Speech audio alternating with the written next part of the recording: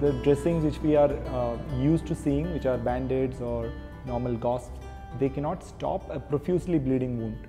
So Axiostat was designed specifically to stop profuse bleeding wound, which could be life-threatening. So it works on a charge-based uh, interaction between blood and the material.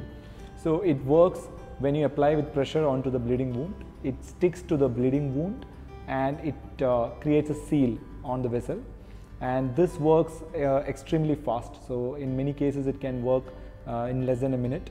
Polymer which we use is called chitosan uh, it is a natural biopolymer the second most abundant polysaccharide in the world uh, which is extracted from multiple sources including shellfish. Chitosan has a highly positive charge which we uh, try to make it more accelerated uh, and the blood contains a negative ne ne negative charge so when they come together, it forms a seal which is very strong and that's how the bleeding is controlled in most of the cases. Take out Axiostat from the pack, it is a sterile product and then you without any thought just apply with pressure onto the bleeding wound. It doesn't matter which side uh, the product comes in contact. Uh, you stay with pressure for a couple more minutes until it sticks. It will stick basically based on the amount of blood between you know 30 seconds to 2 minutes.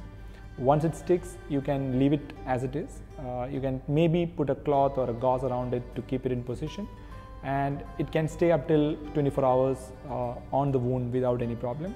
Uh, when you have to remove it, you apply water or even better is saline. Uh, so it, the material itself turns into a gel. So you can actually wash it off without causing further trauma uh, which is associated with you know removal of dressings. We supply to most of the Indian Armed Forces operations uh, in almost about you know 70 plus battalions across the country. Uh, we also have a range of products that goes into emergency and ambulance services. Uh, there is another one that goes into cardiovascular uh, and other vascular procedures and then one goes into dental. Uh, these are all specifically designed product variants.